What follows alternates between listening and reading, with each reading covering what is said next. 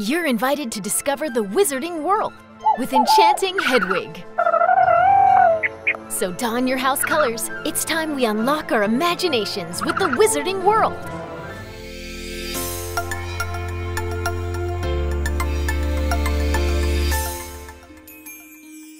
Okay, first order of business is getting Enchanting Hedwig out of the box. So let's open it up. You'll notice that on the bottom, there are two key locks you'll need to turn to release Hedwig's perch. Once you've got that figured out, look under Hedwig's feet between the bottom of the perch for another key lock. We're almost done. Just need to turn that last key lock 180 degrees to get Enchanting Hedwig released from the perch. Don't be shy, wiggle it a little to get her free. And here she is, Enchanting Hedwig, filled with personality and interactivity.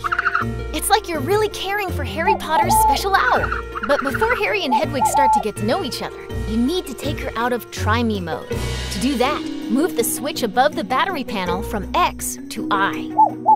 Hedwig loves to be pet, so one of the easiest ways to become friends is by petting her. Hedwig's sensors for petting are on the front and the back of her head. Don't pet her the wrong way. Hedwig doesn't like when you ruffle her feathers.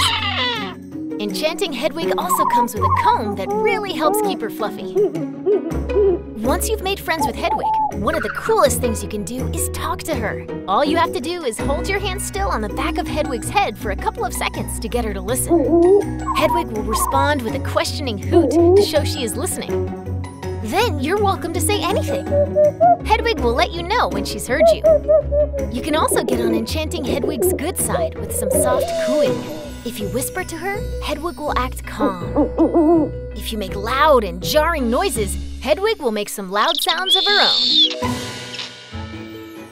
Enchanting Hedwig loves to eat, so be ready to feed her. Don't worry, you don't need any real food. When you think she's feeling hungry, just hold your finger in her beak and Hedwig will start nibbling. And this is maybe the coolest thing about Enchanting Hedwig. You can actually send messages with her. Owl Post, here we come! To send a message with Enchanting Hedwig, all you've got to do is place your message in the special Harry Potter Hogwarts envelope that's included. Then open her beak by placing your finger in her mouth. The person receiving the note needs to know the secret passcode to retrieve the letter, or Hedwig won't share it. They've got to pet her three times from the top of her head towards the back, and then she'll release the message and do a special happy dance. When the time comes that you need to change Enchanting Hedwig's batteries, it's easy.